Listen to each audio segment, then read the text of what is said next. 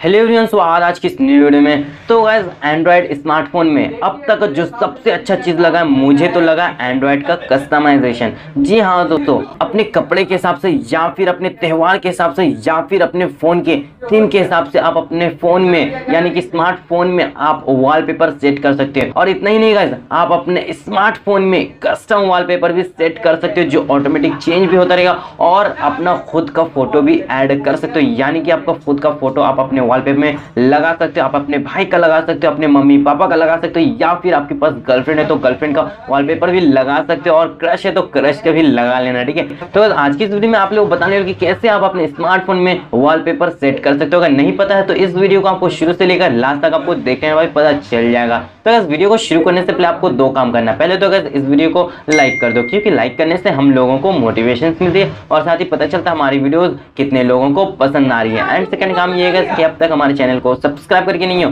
तो वहाँ आपको रेड बटन दिख रहा है, उसे दबाकर सब्सक्राइब कर लो एंड बेल आइकन को प्रेस करके ऑल पे सेट कर देना, ताकि जो हमारे नए नए लेटेस्ट वीडियो आएँगे, उनके नोटिफिकेशन आपको मिल रहेगी चलेगा बिना टाइम वेस्ट के वीडियो को स्टार्ट करते हैं। चलते हम अपने स्मार्टफ़ोन के स्क्रीन पर।